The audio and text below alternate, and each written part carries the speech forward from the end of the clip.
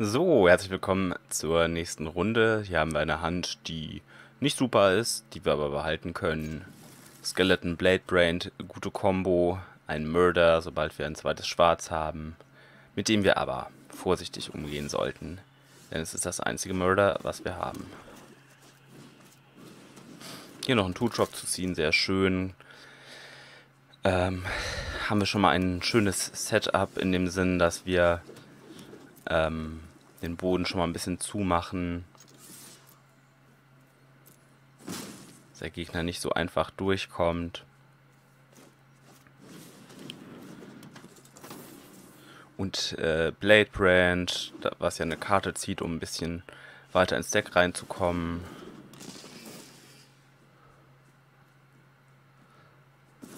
Hier exilen wir natürlich ein Land, denn das gibt uns langfristig am wenigsten Value.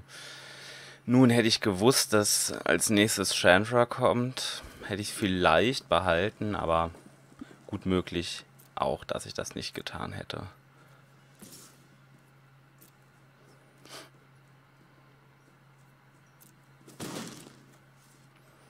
Ja, ich sehe hier keinen Grund, was zu tun. Wir warten auf bessere Kreaturen, um unseren Removal einzusetzen. Und ähm,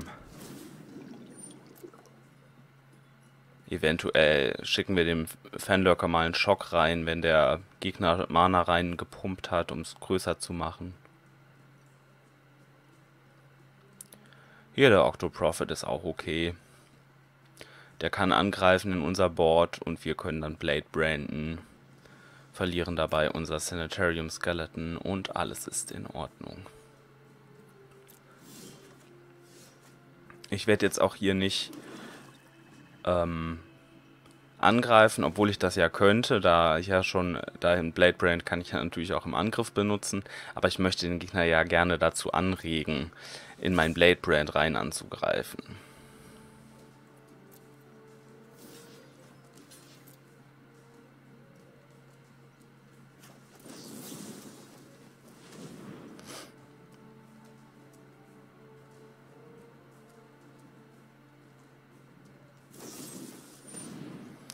Wow. Ja, das nenne ich mal Value. Also, ich bin jetzt überhaupt nicht unglücklich, dass der Gegner das gemacht hat. Denn, ähm, was haben wir dadurch für ein Value bekommen? Unser Sanitarium Skeleton ähm, hat einfach mit einem Murder getradet.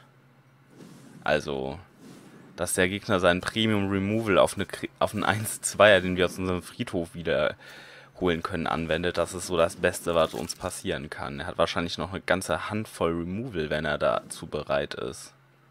Wow. Ich meine, er hat uns davon abgehalten, eine Karte zu ziehen mit Blade Brand. Ähm aber hey, das, äh, wie gesagt, das nenne ich mal Value. Also wir haben effektiv unser Blade Brand gegen einen ähm, unser Blade Brand getradet gegen einen äh, Murder. So ist es nicht das Skeleton. Äh, puh, was soll ich exilen? Chandra auf keinen Fall, die ist viel zu stark.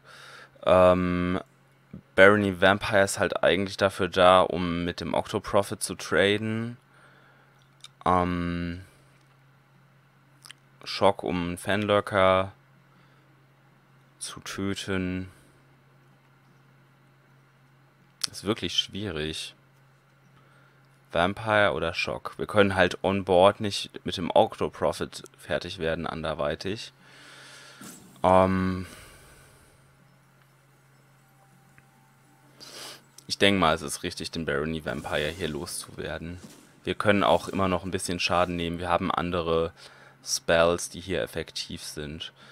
Ähm, jetzt könnten wir zum Beispiel Flame Sweep und Shock einsetzen, um das ganze Board vom Gegner loszuwerden. Wir verlieren nun Sanitarium Skeleton, was uns ziemlich egal ist.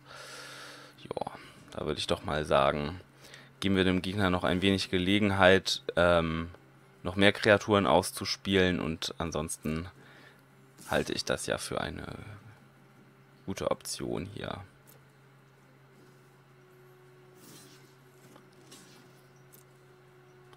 Bis dahin können wir auch weiter das mit dem Sanitarium Skeleton blocken. Passiert nicht viel. Und das ist ja so ziemlich das Beste, was hier hätte passieren können. Gegner spielt einen Warden of Evis Isle aus, kann seine Fanlurker nicht pumpen. Flame Sweep rasiert das Board vom Gegner weg. Famos. Ähm, ja, ich könnte Skeleton wieder zurückkaufen und ausspielen, aber ich denke mal, jetzt hier das Board zu bedienen, während das leer ist, ist doch vermutlich etwas profitabler für mich. Wunderbar. Hier nochmal eine gute, eine gute ähm, ja, Schulstunde in sozusagen äh, Removal zurückhalten, nicht sozusagen beim bei der ersten Gelegenheit nutzen. Äh, ich hätte ja schon viel früher irgendwas schocken können oder so, aber es schien mir halt einfach viel profitabler, den so einzusetzen. Hm, hier könnte ich jetzt mit Fathomfleet Cutthroat theoretisch äh, meinen Schock gegen den Octoprofit traden, aber braucht dafür noch ein zusätzliches Mana. Ansonsten könnte der Fathomfleet Cutthroat einfach nur für den Octoprofit traden. Ich kann äh, meinen Bloodburglar oder meinen Sorcerer of the Fang traden gegen den Octoprofit. Der wird es wahrscheinlich nehmen, schätze ich mal. Obwohl Bloodburglar hat Lifelink, nicht unbedingt. Ähm, aber hier werde ich auch mal wieder, ähm, ich will nicht sagen vernünftig bleiben, sondern so sparsam wie möglich mit meinen Ressourcen umgehen und einfach das Sanitarium Skeleton wieder ausspielen. Bis jetzt hat sich das immer gelohnt, wenn wir unsere Spells für die bestmöglichen ähm, Gelegenheiten zurückgehalten haben. Wir stehen hier auch nicht unter Druck.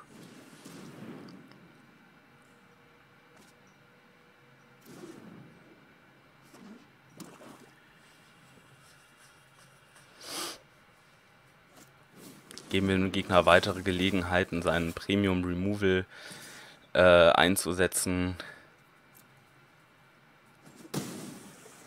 gegen unsere kleinen Kreaturen. Ähm hier werde ich jetzt mit Sanitarium Skeleton angreifen, wenn der Gegner mit Frostlings Block kann ich Fathomfleet Cutthroat einsetzen, um Frostlings loszuwerden und dann damit den Octoprofit blocken. Ich sehe gerade keine Notwendigkeit, das noch länger vorzubereiten mit Scampering Scorcher. Obwohl es mir halt echt gefällt, die Idee, der Gegner ist jetzt erst auf 5 Mana gekommen, hat vielleicht noch starke Kreaturen auf der Hand. Ähm, neben Murder halt noch die Shock-Cutthroat-Möglichkeit offen zu haben. Und da es auch eine sehr produktive Runde ist, jetzt einfach ähm, die kleineren Kreaturen hier rauszubringen, würde ich mal sagen, ist das auch, kommt mir das auch wie eine sehr sinnvolle Möglichkeit vor. Schön weiter den Boden zumachen, Gegner dazu bringen, dass er irgendwie Removal spielt auf unsere kleinen Kreaturen oder eben eine sehr große, seine, seine Bombe irgendwie rausbringt, seine beste Karte. Wir haben dann Murder oder Fathom Fleet Cutthroat Shock Combo.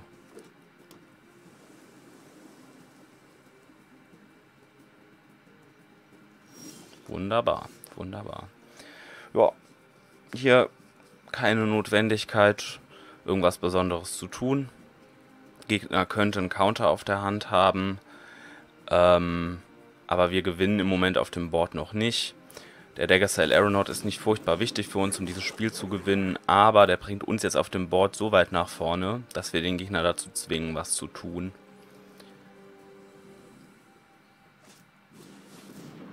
Real Elemental habe ich kein Problem mit. Der ist etwas teurer zu töten, aber ähm, aber das ist nicht so problematisch. Früher oder später bekommen wir unser Mana. Ähm, hier könnten wir jetzt Siphon anwenden auf den äh, Prophet, um den loszuwerden, aber auch Siphon können wir vermutlich noch effektiver einsetzen. Ähm, Agonizing Siphon auf den Octoprofit ermöglicht uns auch noch keinen vernünftigen Angriff. Das Einzige, was wir tun könnten, wäre mit dem Aeronaut in den Boreal anzugreifen und äh, dann einfach Cutthroat auszuspielen, wenn der Boreal blockt. Denn ähm,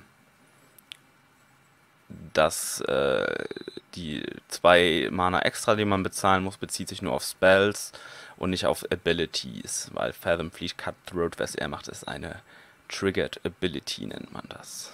Ja, von daher würde ich sagen, machen wir das.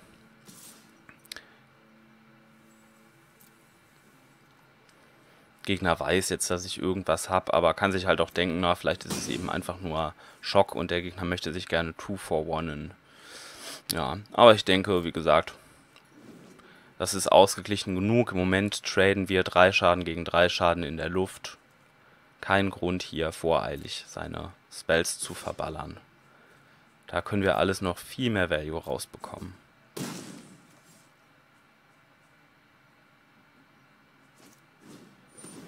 Ja, kein Problem.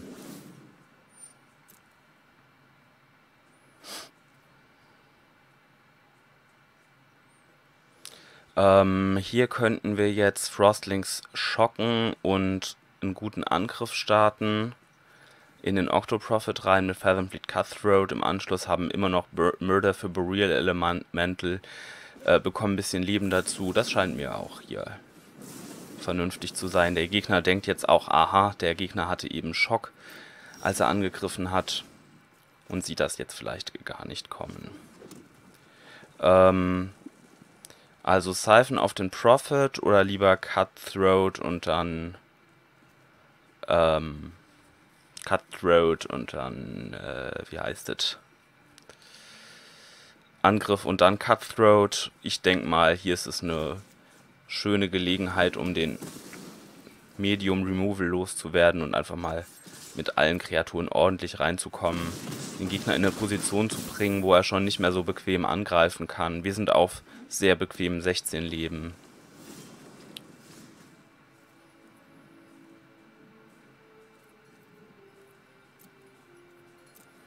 Hier traden wir jede Kreatur gegen Boreal Elemental. Bekommen hier sogar nochmal zwei Leben dazu.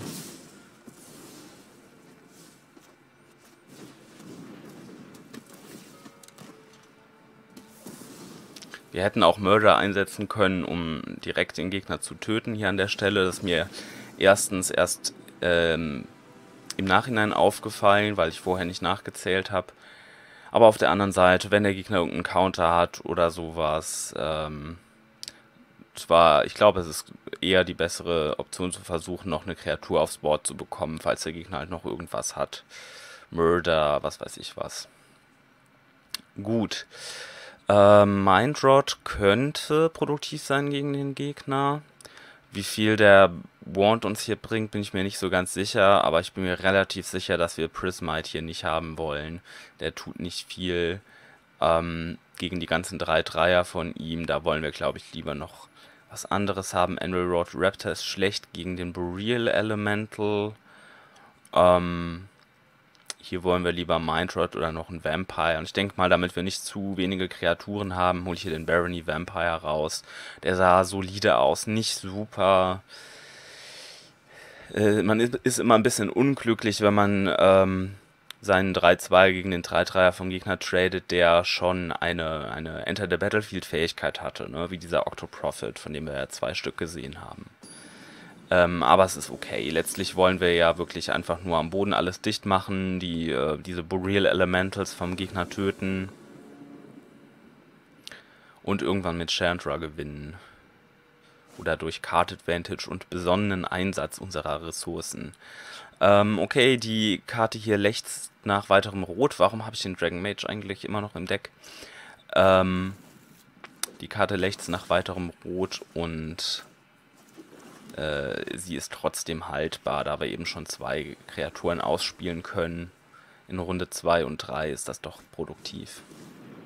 Okay, der Gegner hat äh, klugerweise Cerulean Drake reingebracht gegen uns. Also ich hoffe, dass er ihn reingebracht hat gegen uns und nicht schon im Main Deck hatte, denn ich habe ja schon erklärt, warum ich das für keine wirklich spielbare Main Deck Karte halte.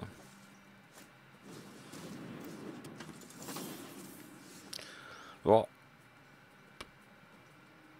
Easy Game für uns. Angriff mit Blood Burglar. Der Gegner kann blocken, aber wir kriegen trotzdem Leben dazu.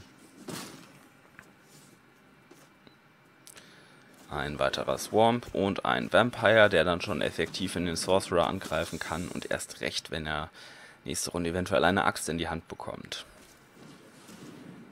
Also hier muss der Gegner jetzt eigentlich seinen Cerulean Drake schon zurückhalten, ähm, weil das auch nach einem profitablen Block für ihn aussieht. Na, das sieht der Gegner anscheinend nicht so. Nun gut. Ähm, Retributive Wand gefällt mir super gegen Cerulean Drake.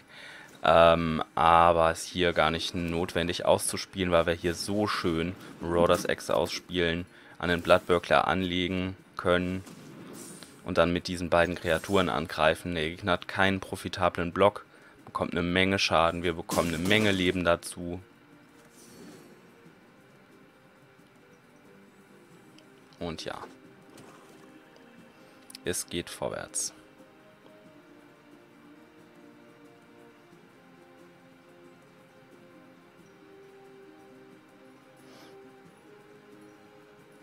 So langsam würde ich dann aber doch mal sehr gerne meinen Mountain ziehen.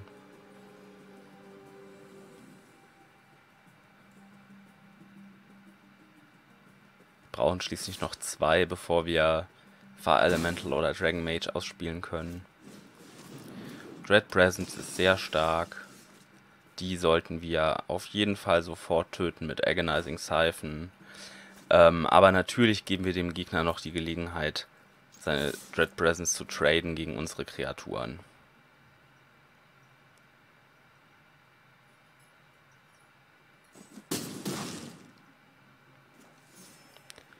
Wunderbärchen. Zuerst Cryptic Caves raus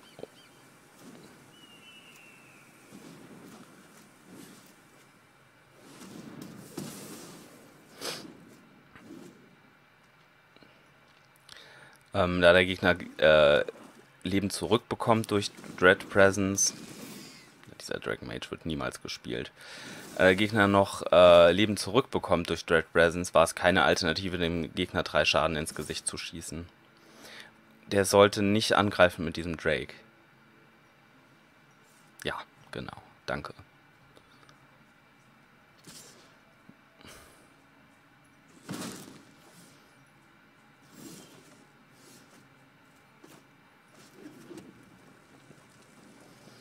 Das ist unser sechstes Land. Mm, wir können jetzt Wand ausspielen und pingen.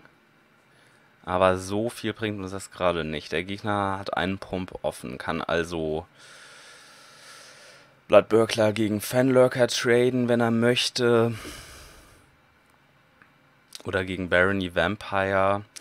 Aber wir haben jetzt Reach durch unseren Retributive Wand.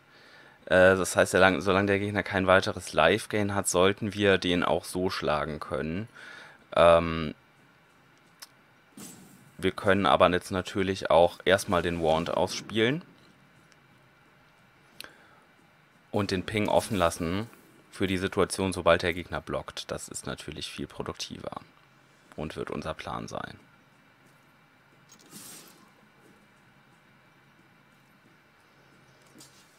Genau. Okay. Das ist ein guter, äh, ein guter Block vom Gegner gewesen. Ähm, denn jetzt muss ich ja sozusagen meine Kreatur traden. Wenn ich reagiere mit einem Ping, kann der Fanlurker als Reaktion darauf pumpen. Deswegen lasse ich diesen Trade jetzt zu. Ist immer noch ein 2-for-1 für mich, also sehr produktiv. Wenn der Gegner jetzt pumpt, kann ich als Reaktion darauf den Wand einsetzen. Sehr gut. Ja, ähm, kein Grund eigentlich den Gegner hier mit irgendwas enttappen zu lassen. Ähm, könnte direkt ihn pingen, um ihn damit schnell zu töten, könnte den Cerulean Drake wegpingen. Ähm,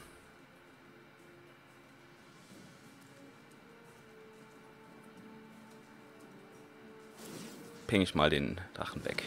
Mein Grundprinzip äh, ist ja immer eher aufs Board zu spielen. Also das Board zu beeinflussen, als die Lebenspunkte. An der Stelle natürlich 33 zu 30 ist vielleicht was anderes. Aber so oder so sollte uns, ähm, sollte uns unser Wand hier das Spiel gewinnen.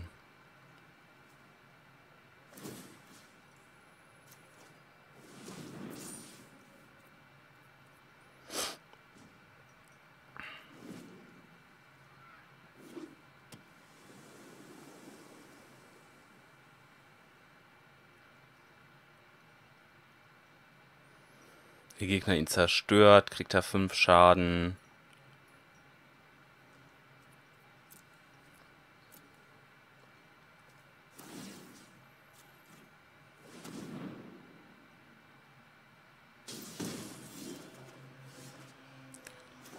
Und da ist der Schock.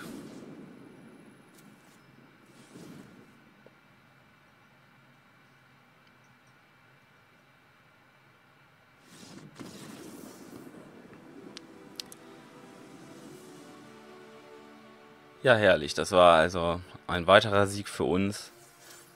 Ein weiterer Sieg des überlegten und langsamen Ressourcenverbrauchs.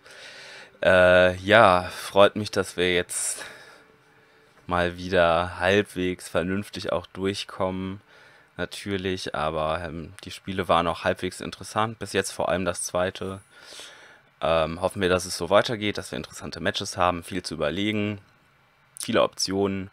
Also bis zum nächsten Spiel. Bis gleich. So, meine lieben Freunde, willkommen in der nächsten Runde. Wir versuchen uns hier weiter voranzukämpfen und haben dafür eine Hand, die äh, man jedenfalls behal behalten kann. Prismite und Blade Brand ist eine Combo, die okay ist. Äh, ja, nach wie vor hat Prismite eigentlich nicht mehr viel in unserem Deck verloren. Äh, dennoch vergesse ich beständig weiter es herauszunehmen und etwas Sinnvolleres zu ersetzen. Aber das soll uns nicht den Tag verderben. Ähm, wir nehmen dennoch Prismite hier raus. Liegt daran, der Gegner hat jetzt nichts ausgespielt, hat Doppelgrün ausgespielt, vielleicht fehlt ihm eine Farbe. Und äh, er ermöglicht uns hier vielleicht schon anzugreifen. In der Tat können wir hier sehr profitabel angreifen. Können den Sorcerer droppen und Schock offen halten. Ja, das sieht ja schon mal eine sehr guten Runde für uns aus. Wir schocken den Diamond Knight als Reaktion. So. Und Jetzt können wir die Axt nehmen und an den äh, Sorcerer ausrüsten. Und anfangen zu racen. Vielleicht müssen wir nächste Runde einen zurückhalten, aber das ist auch kein Problem. Das Wichtige hier an der Stelle ist, Sorcerer auszurüsten und nicht Prismite. Ähm, wir wollen den Trade hier mit äh, Greenwood Sentinel zwar provozieren, da der uns vorteilhaft erscheint.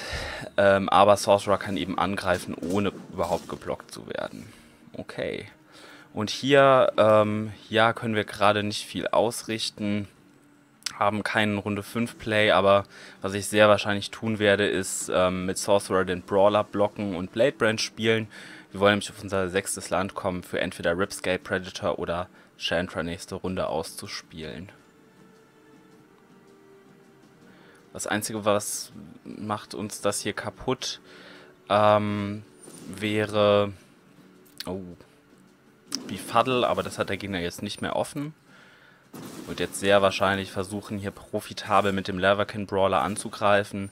Und ich hätte vorher sogar überlegt, ob ich es einfach durchlasse. Aber da es jetzt sechs Schaden sind, ähm, ist das auf jeden Fall richtig, hier Blade Brand zu spielen. Okay. Sei wohlgemerkt, das sind ähm, Elementals, also Chantras minus 3 würde hier nichts ausrichten auf dem Board. Was wir auf jeden Fall machen können, ist Chantra ausspielen und ähm, plus 2, damit wär, wären wir auf 8, würden den Gegner schon mal anfangen unter Druck zu setzen ähm, und ähm, könnten dann dann könnte der Gegner wahrscheinlich nicht viel machen, um Chantra nächste Runde zu töten und wir können anfangen, ähm, selber Kreaturen auszuspielen. Das Schlimmste, was ich mir vorstellen kann, ist, dass der Gegner noch einen Scampering Scorcher ausspielt und wir dann also 6 Schaden auf Chantra hätten. Wäre auf 2, würde auf 4 hochgehen, dann könnte der Gegner Chantra darauf die Runde töten. Ich frage mich, ob es nicht sinnvoller ist, hier erstmal mit dem ähm, Ripscale Predator rauszukommen, um den Gegner einfach ein neues Threat vor die Nase zu setzen. Da wir mit Lebenspunkten vorne sind, ähm, ist der Gegner also im Moment in der unangenehmen Situation, sich zu fragen, was er hier überhaupt unternehmen soll. Ein Risen Reef ausspielen ist auf jeden Fall eine gute, ist auf jeden Fall ein guter Anfang. Ähm, also ich könnte jetzt hier tatsächlich ganz relativ effizient einfach äh, weiter Fettis ausspielen und den Gegner mit den Lebenspunkten unter Druck setzen. Ähm, ich könnte aber auch ähm, anfangen, Chantra auszuspielen und Druck auszuüben. Mit einem Angriff nächste Runde hat der Gegner wohl ähm, drei Schaden, die garantiert auf Chantra durchkommen. Ähm, also ich weiß nicht, ob wir hier nicht langfristig, wir versuchen zu langfristig zu spielen, gegen das Risen Reef verlieren. Ähm,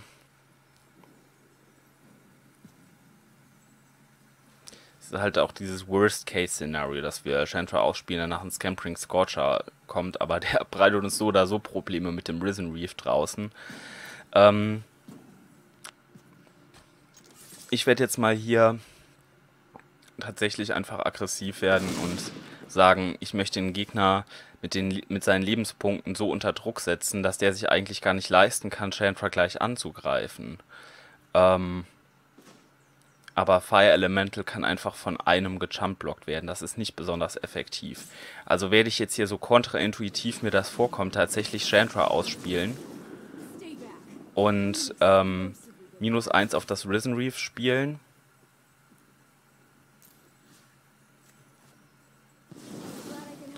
Damit ins Exile schicken und dem Gegner jetzt sagen, hey, du, wenn du noch einen Scorcher hast und Chantra angreifen willst, okay, aber ähm, dann kannst du den Ripscale Predator nicht blocken und der droht 8 Schaden an nächste Runde.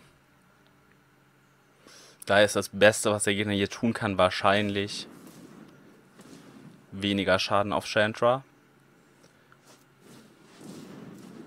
Das ist ja mal so ziemlich das Beste, was uns passieren konnte. Okay, cool.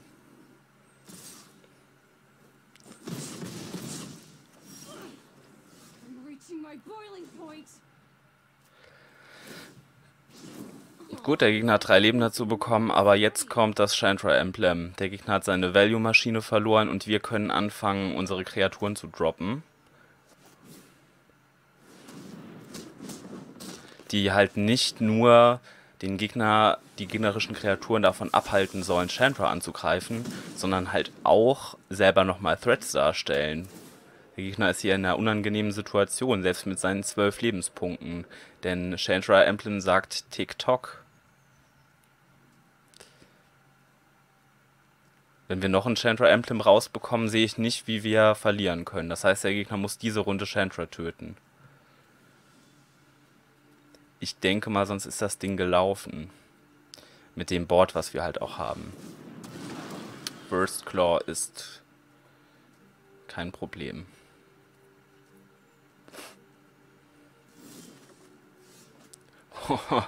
okay, das war jetzt mein Premium-Draw mit Sanitarium Skeleton. Äh, Verse Claw hält uns ja tatsächlich davon ab anzugreifen, es sei denn, wir equippen den Ripscale Predator mit dem, mit dem Marauders X. Ähm, nur, was hier klar sein muss, ist ähm, auf jeden Fall plus 2. Der Gegner kriegt jetzt zwei Schaden die Runde garantiert und ähm, werden ihn weiter unter Druck setzen, indem wir hier unseren Elemental nicht ausspielen. Der tut, glaube ich, im Moment auch gar nicht so viel. Was hier am meisten Eff Effekt hat, ist das Skeleton auszuspielen. Äh, wenn der Gegner mit Verse Claw und irgendeiner Kreatur blockt, fein, fein, fein, dann traden wir. Wenn der Gegner mit allen Kreaturen Predator blockt, auch schön für uns. Durchlassen kann er die 8 Schaden nicht, sonst ist er zu schnell tot. Das heißt, in jedem Fall werden wir hier für, einen für uns profitablen Block rausholen.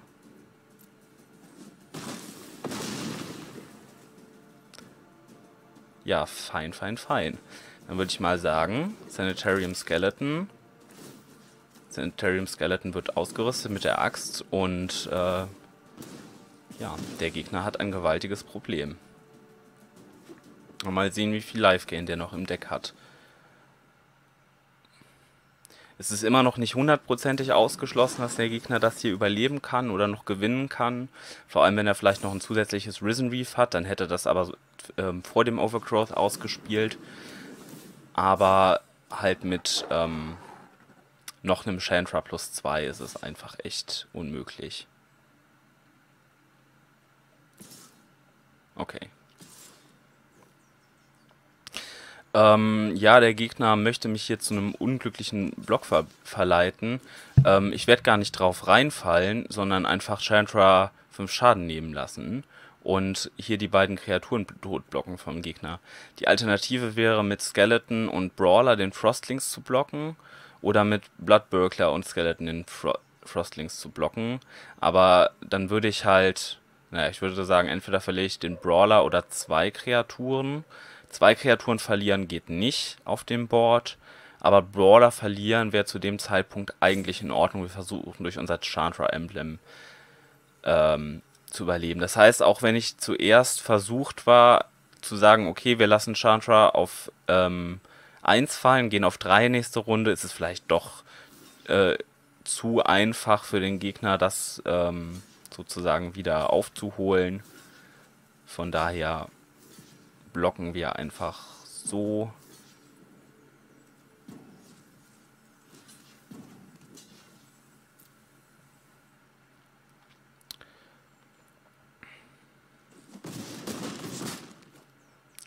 Lassen Chandra einen Schaden nehmen. Lassen den Gegner von mir aus noch ein bisschen Leben dazu bekommen.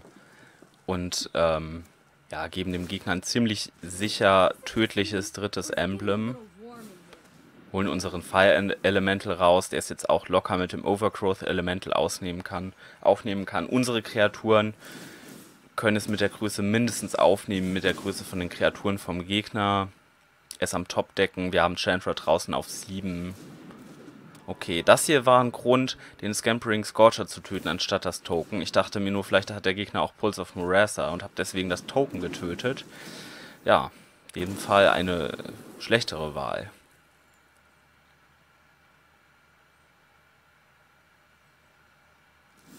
Ja, der Gegner sieht keinen profitablen Angriff. Das sehe ich ähnlich. Ähm, ich werde dem Gegner jetzt einfach das äh, vierte Emblem geben. Also ich sehe wirklich nicht, selbst wenn der Chandra jetzt tatsächlich töten könnte, was schon ungewöhnlich aussieht. Ähm, wie der hier noch irgendwas reißen soll. Da müsste schon eine, ein Angriff mit allen drin sein und dann ähm, stirbt er durch meinen Angriff. Ja, wie gesagt, guter Versuch vom Gegner. Jetzt nochmal mit Portal Scampering Scotch auf die Hand nehmen, den nochmal ausspielen. Ja, aber der versucht es schon gar nicht mehr richtig.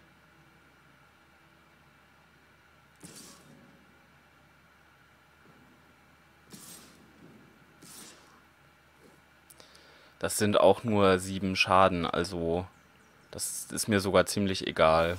Ich block jetzt trotzdem die kleinen Elementals. Ah, der versucht Leben dazu zu bekommen. Aha, aha, aha. Guter Versuch, Gegner. Guter Versuch. Ich wäre fast drauf reingefallen, weil ein Elemental, wenn ein Elemental stirbt, kriegt der Gegner ein Leben dazu. Und äh, ja, da ist sieben Schaden, er hat keine Karte mehr draußen. Das ist so. Dann ist er tot nächste Runde durch das fünfte Emblem am Anfang seiner Runde. Noch bevor er die Karte zieht.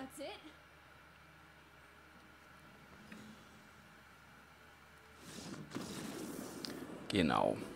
Aber der Gegner hat ein ziemlich tolles Elemental-Deck, muss ich sagen. Das sieht richtig, richtig gut aus. Hat eigentlich alles drin, was man haben möchte. Das wird nicht so einfach werden. Äh, in diesem Fall ging es halt, weil wir unsere Chandra äh, gezogen haben, weil wir den Gegner unter Druck setzen konnten. Aber ich gehe mal davon aus, dass hier die nächste Runde nicht so einfach zu gewinnen wird. Ähm, Hardpiercer Bow könnte zwar gut sein gegen den ähm, Risen Reef, aber wir haben eigentlich schon mit Shock, mit Flame Sweep, mit Murder, mit Retributive Wand, mit Siphon haben wir eigentlich schon genug Antworten. Ähm, und äh, Hardpiercer Bow, wenn wir halt zurückgeraten, was in unserem Deck leicht passieren kann, dann ist der nicht besonders gut. Ähm, Rod Raptor wäre aber in Ordnung, den reinzubringen. Ähm, Prismite würde ich gerne rausnehmen.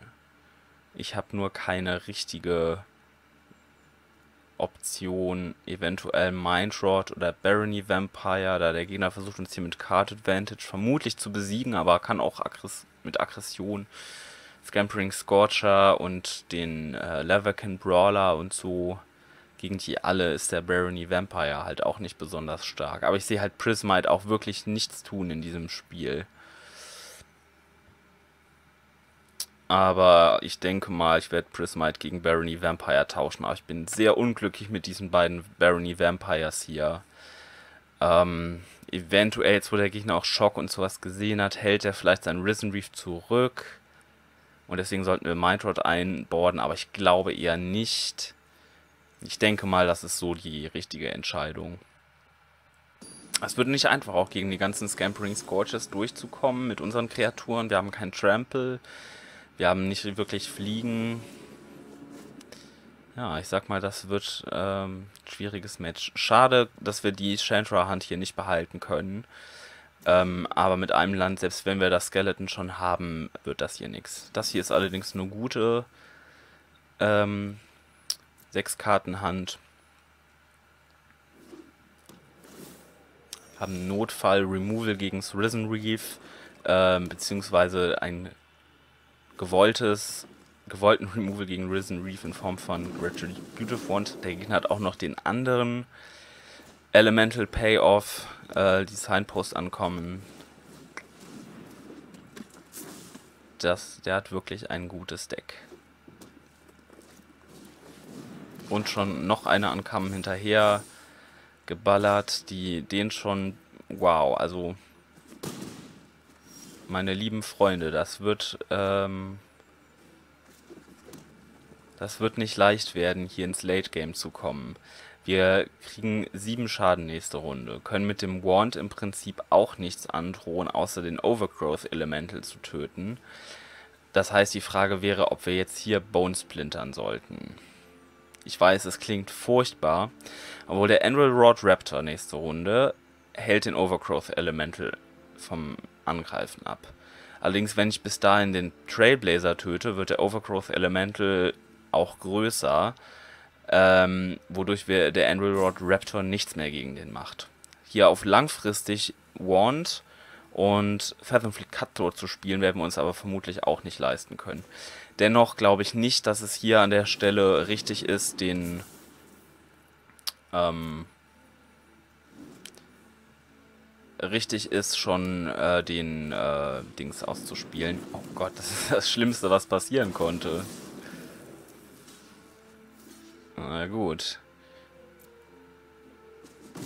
Dann äh, nehmen wir einen, eine Riesenmenge Schaden. Der Elemental wächst genauso, wie wir es uns nicht gewünscht haben.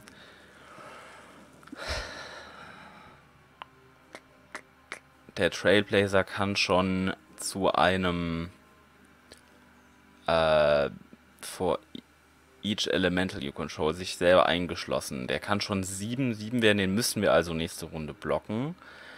Ähm, wir müssen den blocken. Das heißt, das Beste, was wir jetzt haben, ist Cutthroat, um mit dem Elemental zu traden und Sorcerer, Jumpblock auf Trailblazer und wir nehmen 4 Schaden. Das ist das Beste, was wir diese Runde rausholen können. Wir könnten auch Wand, Ping, den Elemental, Bone Splinters, Sorcerer of the Fang of Overgrowth Elemental und haben dann noch äh, sieben Schaden, denen wir begegnen. Okay. Jump Block it is. die einzige Möglichkeit, die nächste Runde zu überleben.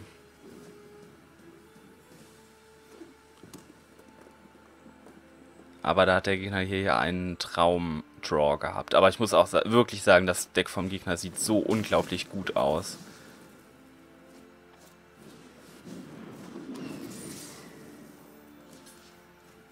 Ja. Das Deck vom Gegner ist fantastisch. Ja, da kann ich nichts sagen. Ich meine, das Spiel spricht absolut für sich. Ich meine, wir hatten Karten auf der Hand, aber das war einfach nur ein brutaler Draw vom Gegner. Ähm, da können wir echt nur darauf hoffen, dass er dazu nicht fähig ist im nächsten Spiel. Mm, wir werden zumindest on the play sein, aber ich sehe halt, also Prismite hätte hier halt auch wirklich wieder gar nichts gemacht. Äh, Barony Vampire konnte immerhin noch ähm, mit dem Overgrowth traden oder so. Also ich will jetzt auch wieder nicht runtersideboarden, nur weil wir hier ähm, sozusagen mit Aggression ziemlich, ziemlich ähm, niedergemacht wurden. Da möchte ich dann normalerweise sagen, ah, dann sideboard ich lieber ein paar günstigere Kreaturen rein. Aber ist in diesem Fall falsch, weil Prismite einfach gegen diese guten Draws vom Gegner auch nichts blockt. Außer so ein 1-1er. Ähm, on the play auf jeden Fall. Das sieht alles andere als gut aus, aber wir haben was zu tun, wir können unseren Vampire zumindest groß genug machen, um gegen individuelle Threats vom Gegner gut zu performen. Ähm, haben den Epicure in Aussicht, haben jetzt noch einen Murder nachgezogen. Also überleben können wir. Und ähm, wenn wir jetzt anständig ziehen, können wir dann vielleicht in Richtung äh, Chantra uns irgendwie bewegen. So oder so werde ich jetzt vor dem Gegner zumindest so tun, als hätten wir äh, kein Rot. Vielleicht spielt er dann aggressiver, als er sonst tun würde. Wenn wir jetzt hier in Risen Reef sehen, werden wir das ohne Rücksicht auf Verluste nächste Runde murdern. Gift of Paradise, gerne. Gegner fehlt rot, wie es aussieht. Ähm, Murder offen lassen oder Marauders X ausrüsten. Ich denke mal, es ist geboten, hier die Axt auszurüsten. Wenn der Gegner einen Risen Reef gehabt hätte, hätte er es vermutlich ausgespielt.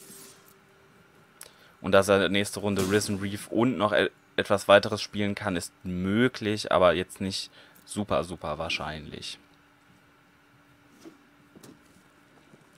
Und wenn, dann, ja, gute Arbeit halt vom Gegner. Okay, Healer of the Glade macht mir keine Sorge. Gibt den Gegner halt ein bisschen Leben.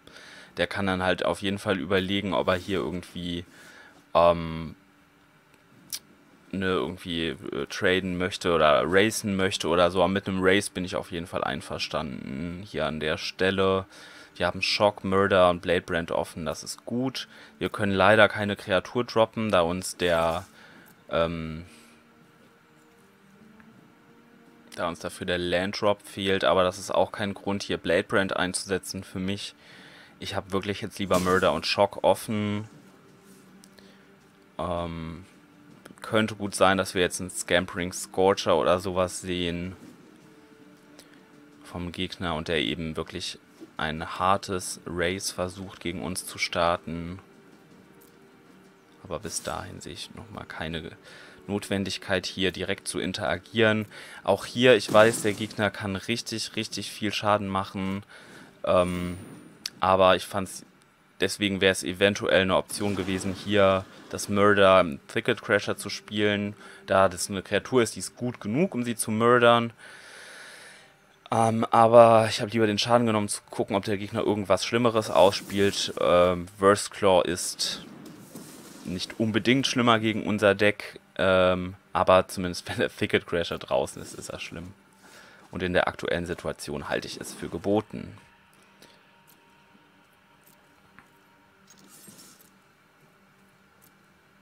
So, hier können wir jetzt immerhin unseren Epicure ausspielen. Ähm, Removal nächste Runde auf Epicure und Angriff für 5 können wir immer noch sehr gut vertragen. Wir können danach anfangen, den Barony Vampire zurückzuhalten, falls wir nicht den zweiten Mountain für Chantra ziehen. Wenn wir den zweiten Mountain für Chandra ziehen, ähm, weiß noch nicht genau, was ich dann tue. Was ich jetzt auf jeden Fall nicht tue, ist... Uff, Leute. Ist hier zu Jump blocken. Aber 7 ist natürlich... Puh. Dann müssen wir jetzt leider doch anfangen, unseren Removal zurückzuhalten. Aber zum Glück können wir einen weiten, weiteren Creature Drop machen. Ähm, und ähm, ja, ich möchte hier meinen 3-2er nicht wegtraden. Wir könnten eventuell mit Epicure angreifen. Das wäre eine Möglichkeit. Mm, aber Epicure ist auch der, der, der die ganzen kleinen Kreaturen vom Angreifen aushält. Wir haben zwar noch Schock. Ich glaube, wir sollten hier Schock auf den Trailblazer einsetzen.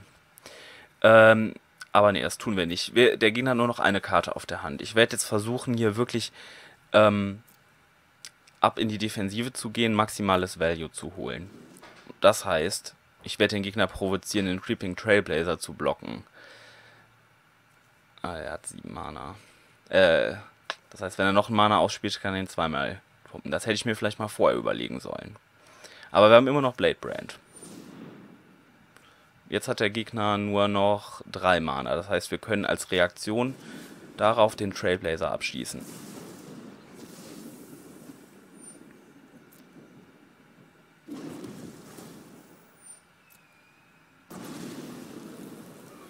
Wunderbärchen.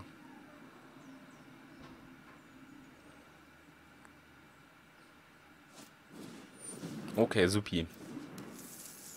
Der Gegner hat zweifellos ein besseres Board als wir im Moment. Aber er erwähnt sich halt auch in Sicherheit mit dem Thicket Crasher. Wenn wir jetzt den Block machen, der uns am sinnvollsten vorkommt, nämlich Blood Burglar auf Thicket Crasher, dann kommen vier Schaden durch, wir sind auf vier, wir haben drei zu 1, 2, 3, 4, 5, 6 Kreaturen. Das heißt, sind kurz davor zu sterben durch einen Alpha vom Gegner. Das heißt, es könnte sein, dass wir hier mit Epicure blocken müssen, um mehr Trample Damage abzuhalten.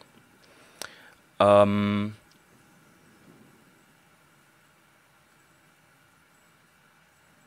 um den Gegner von einem Alpha-Angriff nächste Runde abzuhalten. Wir haben nur zwei Blocker gegen so viele Kreaturen vom Gegner. Ja, ja, das ist super schlimm. Das ist wirklich das Schlimmste, was ich mir gerade vorstellen kann an der Stelle. Es ist so ein knappes Spiel und wir müssen mit unserem Epicure blocken. Es ist kein Jump-Block wegen Blade Brand, aber es ist halt unsere große Kreatur, die im Prinzip das ganze Board aufhält. Okay, dafür haben wir das nächste Land für Shantra getroffen. Das heißt, wir können jetzt... Wir können jetzt schauen. Hm, was auch drin wäre, wäre natürlich ähm, Marauders X auf Blood Burglar. Äh, Angriffe 4. Der Gegner kann dann seine zwei Scorches weg. Wir gehen auf 10. Ähm, rüsten den Vampire wieder aus und sind gegen diese Kreaturen, von denen diese beiden angreifen können, um uns von 10 wieder auf 6 runterzubringen. Damit haben wir also nicht so viel gewonnen. Okay, was passiert, wenn wir Chantra ausspielen und eine von diesen Kreaturen töten? Dann sagen wir mal die Netcaster Spider. Das macht tatsächlich gar keinen so riesigen Unterschied.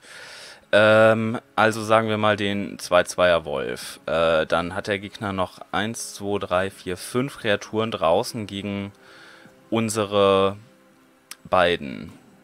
Challenger ist auf 4 und der Gegner kann ihr also 3 Schaden machen. Ähm, das sieht okay aus und würde unser Board zusammenbringen. Wenn wir Chantra aber plassen, kann der Gegner Chantra auch nicht töten und wir setzen den Gegner unter Druck. Ich glaube, es ist geboten, hier wieder Druck aufzubauen. Aber es ist knapp.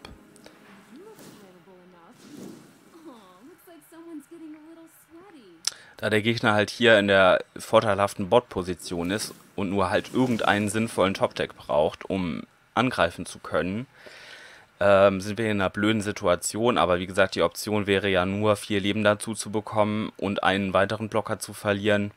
Und wir wären im Prinzip wieder in einer ähnlichen Situation, wenn nicht sogar etwas schlechter als vorher. Und der Gegner macht hier etwas Sinnvolles.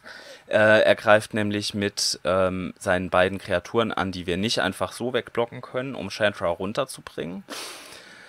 Ähm, wir können uns jetzt entscheiden, ob wir äh, einfach ähm, Chantra auf 4 gehen lassen wollen. Die würde dann auf 6 gehen mit dem nächsten. Oder ob wir hier eine Kreatur traden wollen. Ähm, Barony Vampire gegen Netcaster Spider ist okay, aber hält halt den Wolf auch von nix ab, hält halt nur Chantra auf höherer Loyalty. Das ist eigentlich alles, was hier passiert.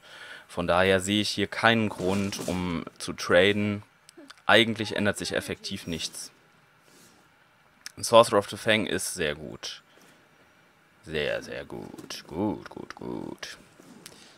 Ähm, das heißt, wir versuchen jetzt hier hyperkonservativ zu spielen. Äh, wir haben natürlich Angst vor einem Overcome in der Hand vom Gegner, was uns töten kann. Ähm, aber dann hätte der Gegner, wenn der das zumindest letzte Runde gezogen hätte, vermutlich unsere Lebenspunkte angegriffen und nicht Chandra. Ähm, Im Moment kann ähm, macht es am meisten Sinn, die Marauders X auf den Sorcerer auszurüsten, da der damit auch effektiv die Netcaster Spider und den Wolf davon abhält, anzugreifen, zumindest on board. Versuchen jetzt hier so langsam wie möglich unsere Chandra zum Sieg zu reiten. Das Geile ist natürlich, dass unser Sorcerer of the Fang jetzt auch noch für 6 Mana 2 Schaden pingen kann. Der Gegner ist also wirklich kurz davor zu sterben.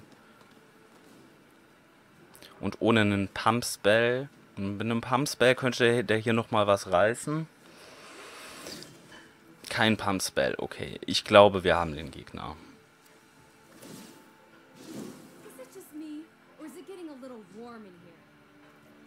Der Gegner geht jetzt schon auf 5 runter.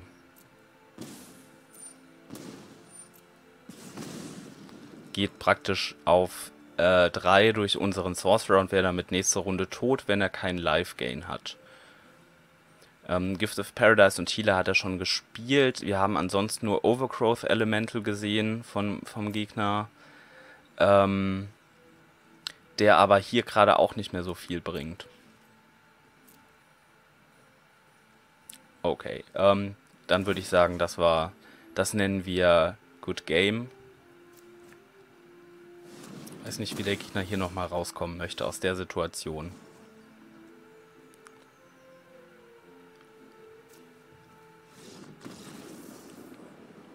Gegner stimmt überein. Aber war ein knappes Ding. Also Chantry in dieses Board reinzuspielen will man halt nicht unbedingt machen. Aber ich habe so lange gewartet, wie ich konnte. Und ähm, wir haben sicherlich auch ein bisschen Glück gehabt.